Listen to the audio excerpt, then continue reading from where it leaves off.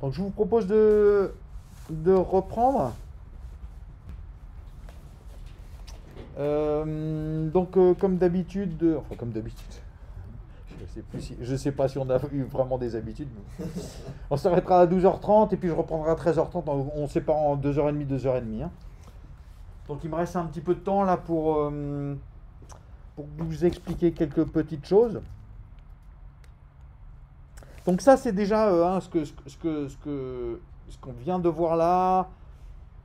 Euh, résumé en, disons en deux heures, c'est euh, c'est un point très important de la programmation d'objets. Les objets, comment est-ce qu'ils fonctionnent, les histoires d'initialisation, le fait qu'on cache des choses à l'intérieur, l'encapsulation, et puis euh, le fait qu'on établisse des liens, hein, qu'il y ait euh, quelque chose de dynamique, et ce qui rend vivant une application, c'est ça, il y a des fenêtres qui s'ouvrent, des fenêtres qui se ferment, des, objets qui communiquent entre eux, etc.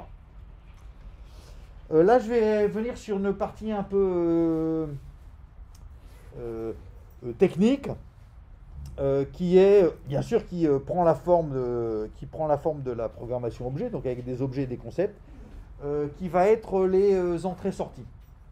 Là, les entrées-sorties qu'on fait, elles sont très limitées. hein. C'était j'affiche à l'écran et je lis à l'écran. Alors pour affi- afficher à l'écran, j'utilise l'astuce, euh, je sais pas que système out println en euh, mélangeant des chaînes de caractères, des entiers, des flottants, des booléens et puis euh, des objets à condition qu'ils aient une méthode toString pour que j'ai un affichage correct. Hein, c'est ça qui me permet d'avoir un affichage sympathique. Sinon, j'ai un affichage très désagréable. hein, je vais avoir un enfin, euh, un numéro, euh, un numéro de série un peu bizarre. euh, voilà. Bon, c'est pas, très grave, ça marche, mais ça donne juste quelque chose de pas très agréable. Pour la lecture, j'en ai pas fait ici, mais rappelez-vous, la lecture, c'est l'astuce. Il me faut un scanner qui est connecté à system.in. Bon, c'était une espèce de petite recette. Et puis avec scanner, euh, j'avais, je sais pas quoi, des next line, next integer, machin. Et puis vous avez vu qu'il y avait des soucis euh, un peu bizarres quand on mélangeait les choses. Mais bon, c'est euh, c'est la vie des entrées-sorties. Surtout les lectures, c'est toujours plus compliqué qu'on ne, qu'on ne le croit. Mais enfin bon, la classe scanner, elle, est, elle rend les choses relativement agréables. Mais les entrées-sorties, c'est tout ce qu'on savait faire, écrire et lire à l'écran. Bien sûr, il y a plein d'autres choses qu'on peut vouloir faire en Java, notamment lire et écrire dans des fichiers. hein. imaginez, euh, euh, je sais pas quoi, mes comptes en banque, là j'ai besoin à un moment de stocker ça quelque part. Alors, euh, je devrais le stocker dans une base de données, c'est plus raisonnable, mais j'en sais rien. Euh, euh, vous, euh, vous, euh, pas, vous jouez certainement à des jeux vidéo pour beaucoup d'entre vous. euh, y a un moment, on sauve la partie et puis on la reprend le lendemain. hein. Donc, euh, comment ça marche? Il n'y a pas de mystère, c'est écrit quelque part dans un fichier. Où est-ce que vous en êtes Où étaient les monstres Quel était votre score J'en sais un peu trop rien. Enfin voilà. Vous voulez sauvegarder des choses dans un fichier, c'est normal, pour les retrouver plus tard. Euh, comment est-ce que je fais ça en Java? Alors en Java, vous avez, euh, bien sûr, hein, je ne vous interdis pas d'utiliser Internet pour trouver les recettes pour faire telle et telle chose, mais ici il s'agit d'un cours, donc je vais quand même bien sûr vous donner quelques recettes, mais il faut au moins euh, se rappeler que euh, de toute façon, euh, le, la référence pour comprendre comment les choses marchent, c'est la documentation Java. Donc, bah oui, parce que vous allez trouver une recette pour faire des trucs simples. Et puis un jour, vous êtes obligé de faire un truc plus compliqué. Là, il n'y a jamais la recette, hein, comme par hasard. Donc, au moins que j'essaie de vous donner des bases pour essayer de comprendre comment ça marche. Alors, je l'ai déjà dit tout à l'heure ce matin, si vous voulez faire des entrées-sorties, input, output, IO, donc euh, c'est le package Java IO. Bon, c'est aussi bête que ça. Voilà. Alors il y a d'autres packages avec des IO, hein. il y en a un qui s'appelle NIO. Euh, il n'y a aucune raison d'aller euh, regarder ce qui se passe là-dedans pour l'instant, ni même dans ce cours. Je vais dans le package Java IO et je vais voir apparaître ici des, des choses. Alors il y a des interfaces, je ne sais pas ce que c'est encore, ça va venir, je vous rassure. Il faut que vous sachiez tout lire ici. Il y a surtout des classes. Voilà. Alors il y a des choses, des exceptions, vous ne savez pas encore ce que c'est, des erreurs non plus. Mais ça, ça va venir très très vite. Vous allez voir pourquoi. Euh, ça va venir euh, immédiatement avec les histoires de sorties. Alors le problème, c'est que je veux faire des... J'ai plein de classes. Alors ça, c'est un truc qui n'est pas naturel. Si vous venez du monde comme le C, vous avez fait du C, vous avez appris à écrire ou lire dans des fichiers, non? Vous avez fait fopen, fread, fwrite, fclose. Voilà, donc vous voulez écrire, alors vous dites je vais ouvrir, je veux lire ou je veux écrire, donc j'ouvre avec euh, R, W, euh, je sais pas quoi, vous faites les mix horribles de ce qui va bien. Vous faites vos séries de fread, fwrite, et puis vous faites fclose. Alors, d'abord, quand je fais ça, euh, j'ai des soucis, parce que j'ouvre un fichier en lecture, rien ne m'empêche d'écrire un truc qui tente de faire un fwrite dedans. Je fais un fopen read en mode lecture et je fais fwrite. bon, donc en fait, j'écris des programmes incorrects. Bien sûr, ça marche pas. Le fwrite, il ne va pas écrire. Hein. Mais euh, ça veut dire que j'écris des programmes incorrects. Bon, ça, c'est un premier problème. Hein. Écrire des programmes incorrects, c'est trop, trop. Il faut pas que ce soit trop facile. Donc voilà. L'autre point, c'est qu'en réalité, euh, quand on lit, quand on regarde bien les programmes qui lisent et écrivent dans des fichiers, la plupart du temps, ils font des trucs très très simples. Je dis bien la plupart du temps, c'est pas tout le temps le cas. En général, qu'est-ce que vous faites quand vous avez un fichier et que vous écrivez dedans? Vous l'ouvrez, vous faites plein d'écriture et vous le fermez, basta. Quand vous avez besoin de lire dans un fichier, qu'est-ce que vous faites en général? C'est parce que vous avez stocké plein d'informations dedans. Vous l'ouvrez en lecture, vous lisez tout et vous fermez. Dans 99,5% des cas, c'est ça que vous faites.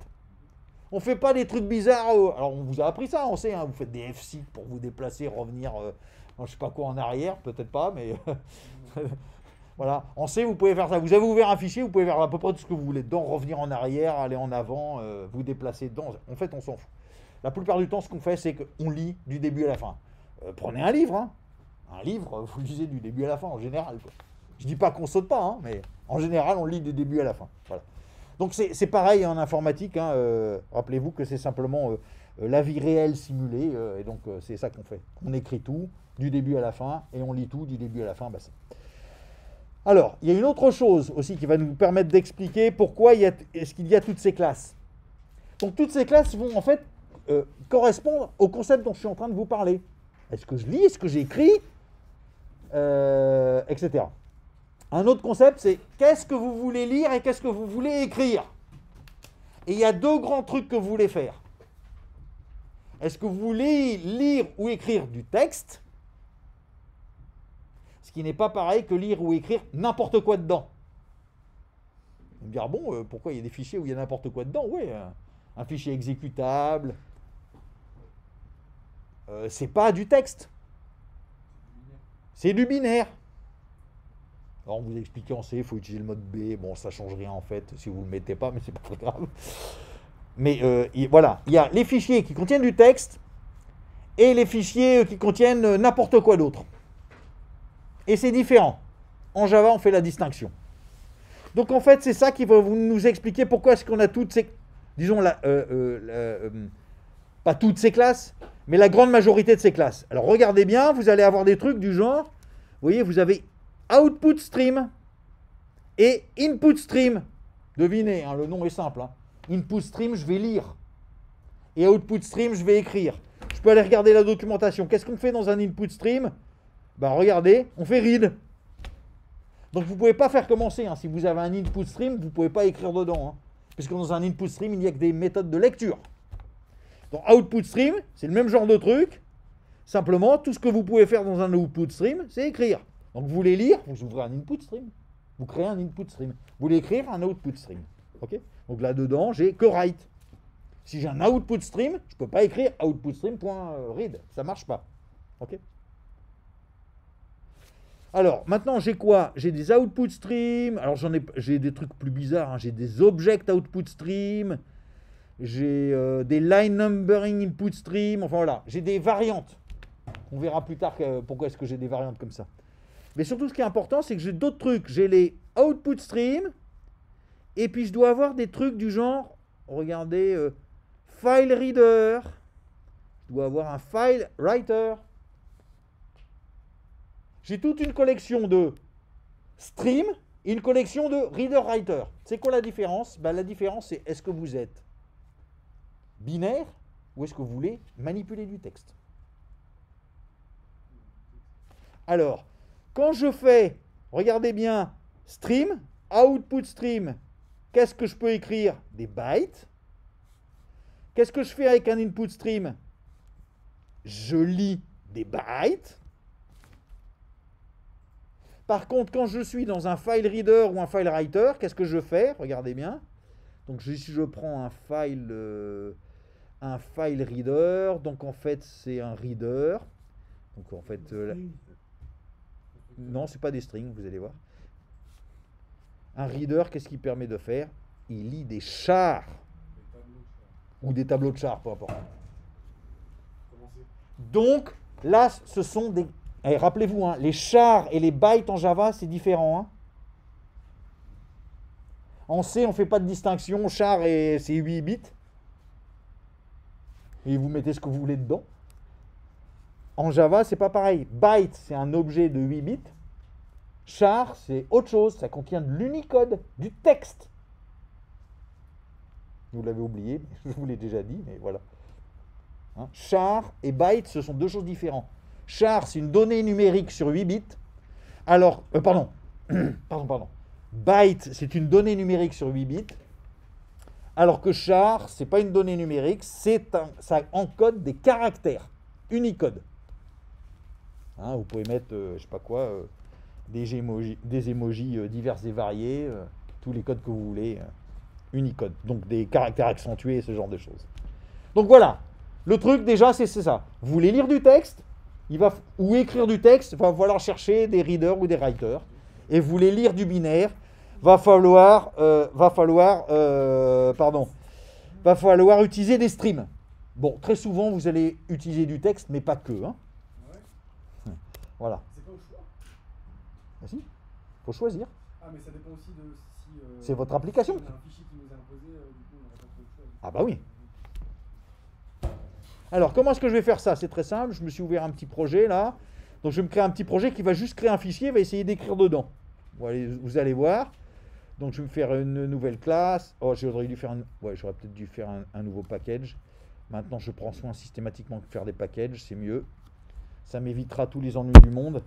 Euh, je vais l'appeler principal dans un autre projet. Voilà. Et dans principal, je vais me créer une classe. Donc rappelez-vous hein, maintenant, hein, euh, euh, voilà, créez-vous toujours des des packages, merci. Voilà. J'ai oublié de mettre le public statique. Void main.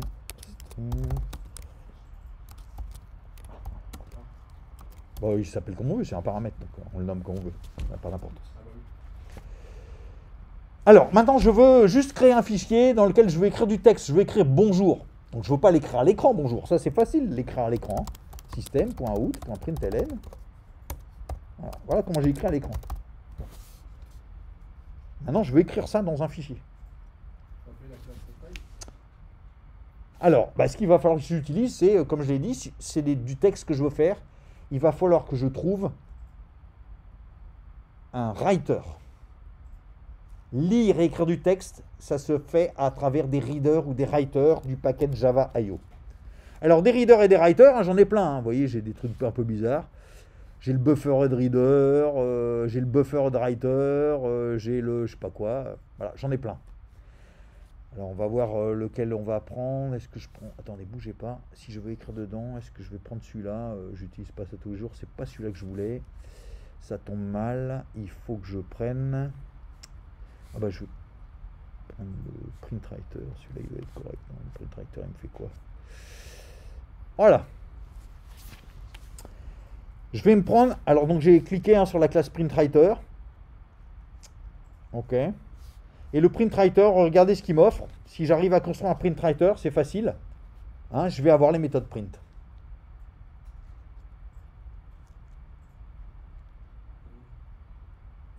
Ok alors maintenant, comment est-ce que je crée un print writer? Bah, Regardons les constructeurs. Comment est-ce que je peux créer un print writer? Alors j'ai plein de constructeurs. Hein. Ça peut vous sembler surprenant. Vous dites, ben vous, pourquoi il y a autant de constructeurs dans la classe print writer? Je vous rappelle, je vous l'ai déjà dit, j'en suis sûr, que il est tout à fait courant que dans une classe, il y ait plusieurs constructeurs. Mais parce que ça veut, rappelez-vous, un constructeur, c'est une façon de construire un objet.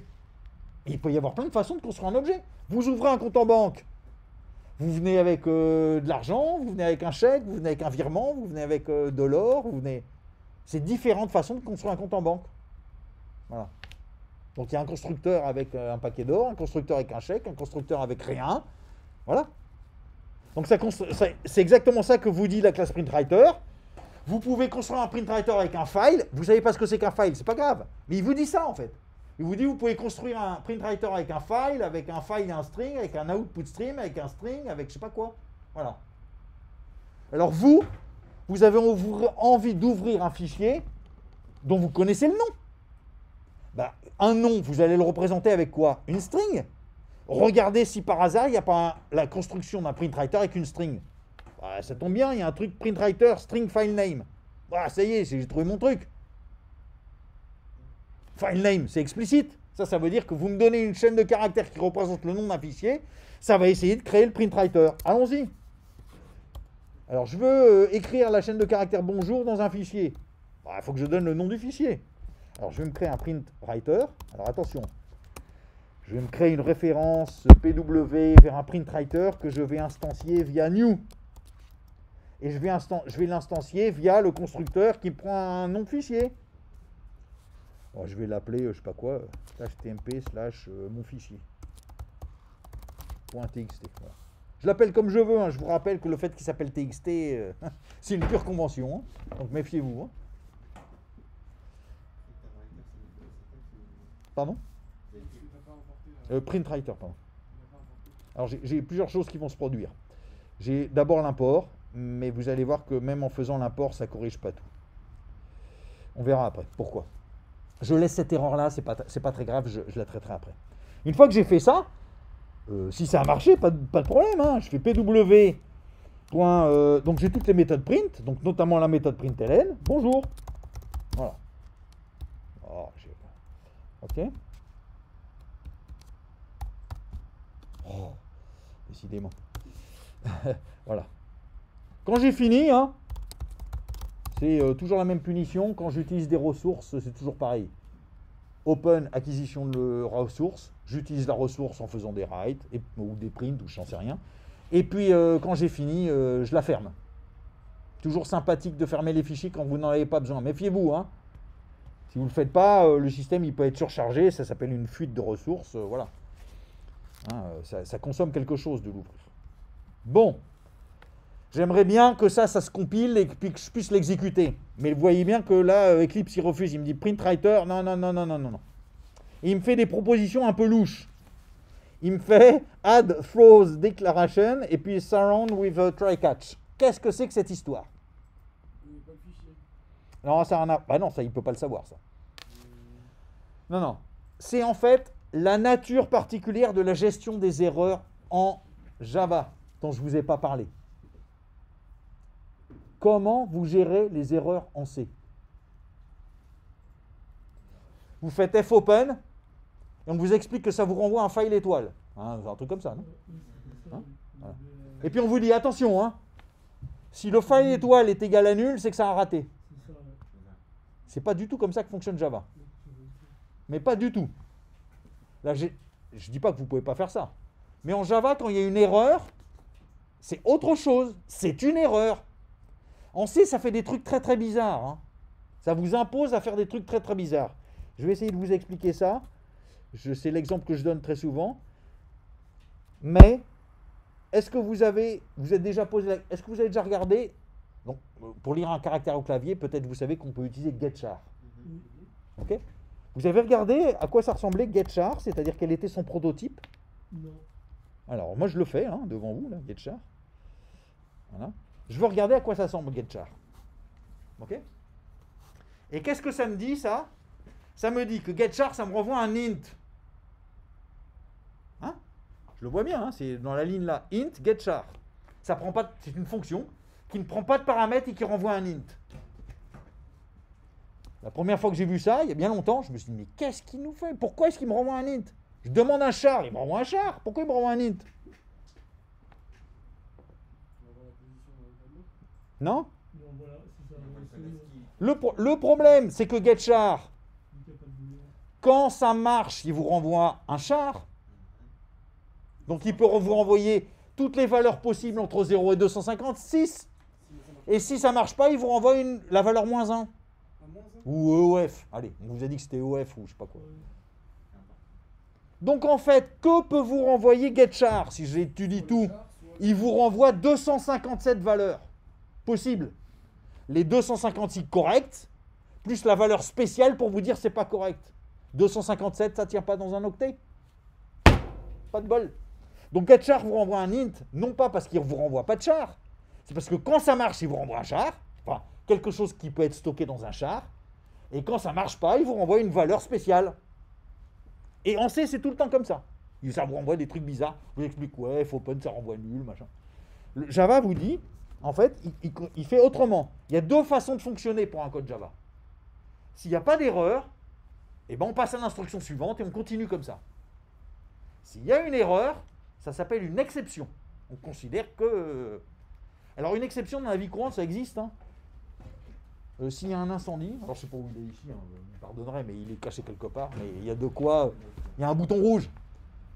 Il y a un bouton rouge. Je détecte un truc, j'appuie, puis tout d'un coup, tout ça sonne partout, tout le monde dit quoi Ah, qu'est-ce que c'est? Bon, on n'en met pas trop dans les universités, sinon les, les étudiants s'amuseraient à, à appuyer dessus, à, à, à tirer l'arigot. Mais sur une chaîne de fabrication, c'est ça qui se passe. hein. Vous avez des trucs, là, les types, ils visent des boulons, il y a des machines à là. Et puis, il y, y a un- il y a un truc qui arrête. Donc, vous voyez bien que là, on arrête le programme, le processus de fabrication, il s'arrête. Et qu'est-ce qui se passe là? C'est un bouton rouge. Donc, en général, ça se met à clignoter dans tous les sens. Enfin, ça fait du bruit. Et puis là, il y a tout le monde qui s'agite en tous sens. On fait plus du tout les choses normalement. On sait qu'il y a un problème et on gère cette erreur. Ok? C'est euh, la sirène du premier mercredi du mois là. Alors connaît- personne, tout le monde a oublié les codes, hein, mais il y a un code spécial pour les incendies, les accidents graves et les accidents nucléaires et je sais pas quoi. Voilà. Mais il y a des codes comme ça, donc euh, voilà. Bah ça, ça s'appelle une exception. Parce que quand on rencontre une condition exceptionnelle qui nous empêche de continuer, on ne continue pas. Ce que vous faites le C. Hein. Alors en C, c'est très facile, c'est parce que... enfin, c'est très facile. Le problème, c'est que normalement, à chaque fois que vous faites un appel de fonction, vous devez vérifier si ça marche ou pas. Si ça a marché ou pas. C'est tellement pénible qu'une fois sur deux, vous ne contrôlez pas le retour. Ça va marcher, j'oublie. Ouais, et puis le jour où... un jour, ça marche pas, et donc euh, votre code continue. Et euh, voilà. En Java, c'est pas possible. Si ça a marché, ça a marché. Si ça n'a pas marché, on continue pas. Donc en fait, il y a un système de boutons rouges. Et c'est ça qui m'est suggéré par le, le message ici, là. Euh, try, catch, throws. Donc là, je ne sais pas comment ça marche, les exceptions, encore. hein. Ce que je sais, c'est que PrintWriter, il me dit, méfiez-vous, quand vous appelez PrintWriter TMP, mon fichier TXT, là, il peut y avoir une condition. Une condition qui fait que vous n'arriverez pas à continuer. Et la condition, c'est bah, il n'arrive pas à créer le fichier. Enfin, voilà, il y a une impossibilité. Mais il ne vous laisse pas continuer. Ça ne sert à rien d'essayer d'écrire dans le fichier si on n'a pas réussi à l'ouvrir. PrintWriter, c'est-à-dire ça n'existe pas, il le fait. Ah oui, PrintWriter, il va le créer s'il faut, oui, bien sûr. Ah, il faudra regarder la documentation, mais c'est docu- c'est documenté. Mais s'il n'arrive pas à le créer, ce fichier, ou il existe et il ne peut pas euh, écrire dedans, euh, hein? Ouais, il n'a pas les droits. Donc ça, c'est une condition exceptionnelle. On ne peut pas continuer. C'est pas possible. Vous voulez écrire dans un fichier, si vous n'arrivez pas à l'ouvrir, c'est pas la peine d'essayer de continuer. Donc que fait Java? Il vous dit, ben, en fait, euh, si ça, ça se produit, il va y avoir une exception. Donc la fonction ne retourne pas, c'est ça qu'il faut comprendre. hein. Le constructeur, là, il ne vous renvoie pas un PW euh, nul que vous êtes obligé de tester ou je sais pas quoi. Il vous renvoie rien. On passe dans un mode, il y a la sonnerie incendie, maintenant euh, tout le monde suit euh, la petite procédure, descend les escaliers gentiment, en ordre. Voilà. Donc comment est-ce que ça se traite, là, ça? Eh bien, ça se traite par le fait qu'il va falloir dire que vous voulez gérer le problème. Et ce qui est important de savoir, c'est que si PrintWriter a dit il y a une exception, vous êtes obligé d'en tenir compte. Vous voyez que je ne peux pas l'ignorer ici, c'est rouge. Il me demande de faire quelque chose. Il me dit il peut y avoir une erreur, vous êtes obligé de la traiter. Et pas commencer où si je veux, je la traite. Je suis obligé de la traiter.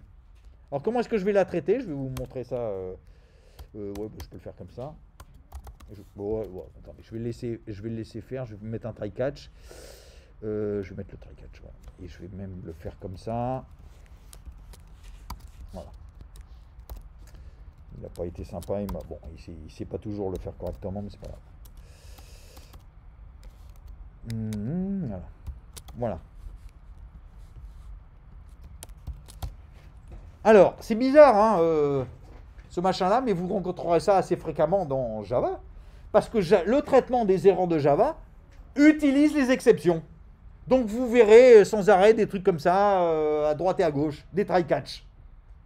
Qu'est-ce que ça veut dire ça? Le bloc try, donc vous voyez, un try c'est un bloc qui commence par accolade ouvrante et ferme par accolade fermante, qui est suivi par des trucs, on va voir ce que c'est. Mais ça, ça veut dire, je vais essayer de faire tout ça. Donc je vais essayer de faire euh, new print writer, le stocker dans PW, de faire le print ln et de faire le close. J'essaye de le faire. Si tout fonctionne bien, il n'y a aucun problème. Ça se produit, voilà. On va essayer de le faire. Donc si ça marche, tant mieux. Le truc, c'est quand ça marche pas. Donc ça, qu'est-ce que ça veut dire quand ça marche pas? Bah, Quelqu'un, ça veut dire que je sais pas où là-dedans. hein.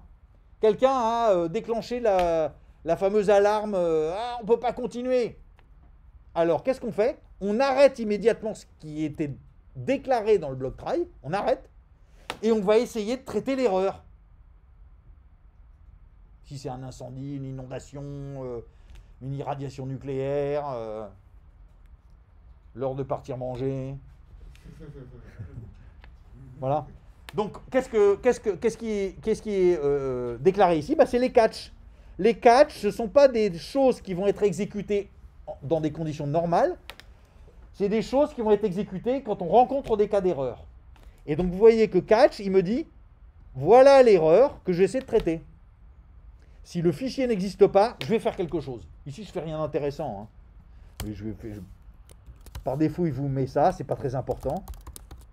Mais euh, vous voyez, je peux mettre un petit message d'erreur. J'en sais rien. Oups, euh, problème de fichier. Voilà. Ok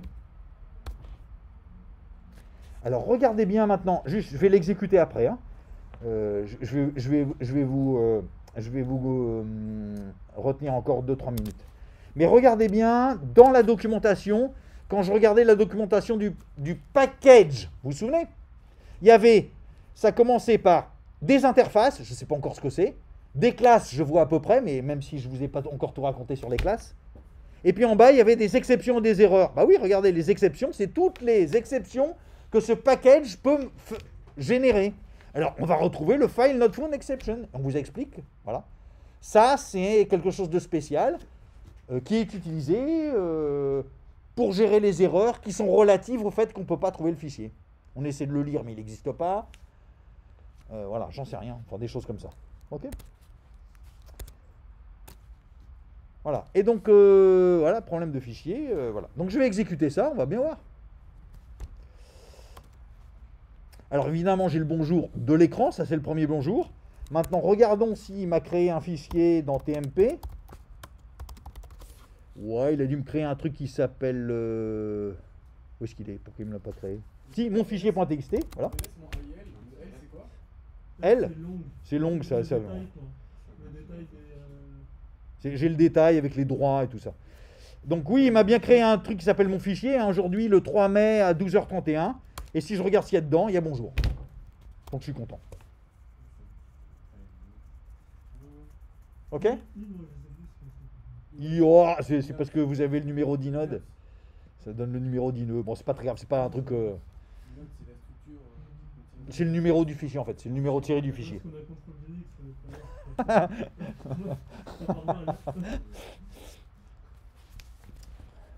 Euh, ok Bon, la lecture, ça, va- ça va être à peu près de la même manière. hein.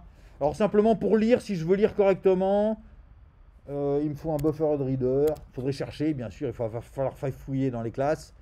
Euh, pour lire, le mieux c'est un buffer reader. Je crois que maintenant il a les bonnes... euh, ouais, bon, je sais pas trop le... Je, vous expliquerai ça tout à l'heure, mais... euh,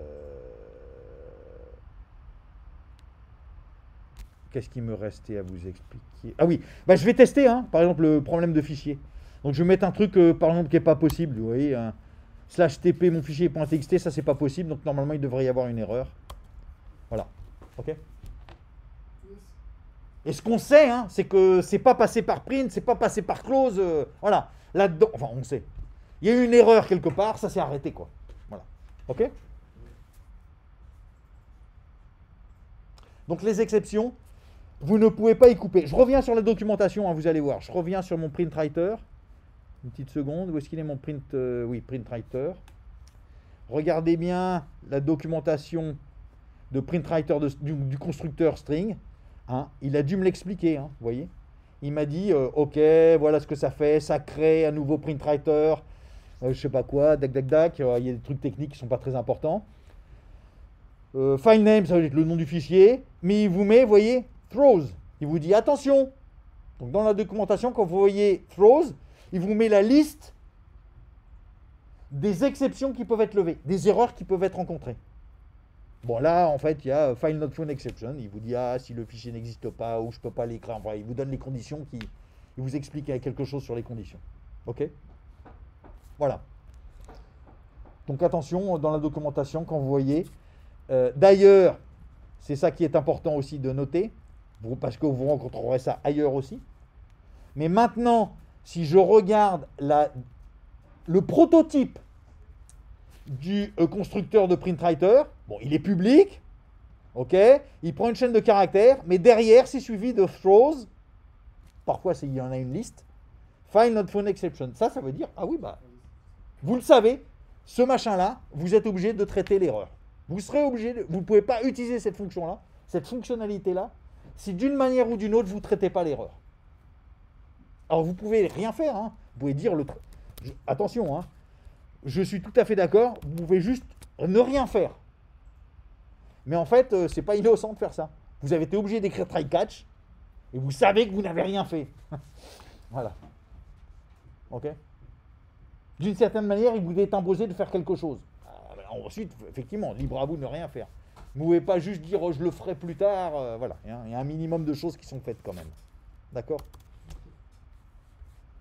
Donc je vous suggère que on aille déjeuner, 12h35, on se revoit à 13h35 Ça va à distance? Bon appétit Merci. Merci aussi.